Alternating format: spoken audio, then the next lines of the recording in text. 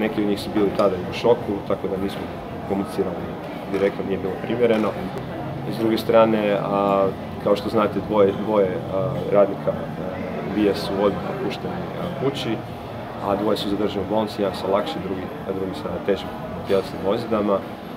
I još uvijek se utvrđuje, mislim da nije dobro ni da se spekulira u medijima o zdravstvenom stanju i šta će biti tako dalje i dalje se to utvrđuje. Za sada se nadamo da su prognoze dobre, ali treba proći 72 sata kad je riječ o okotima da se vidi u kojem stupnju se radi, i, ali nadamo se punom oporavku.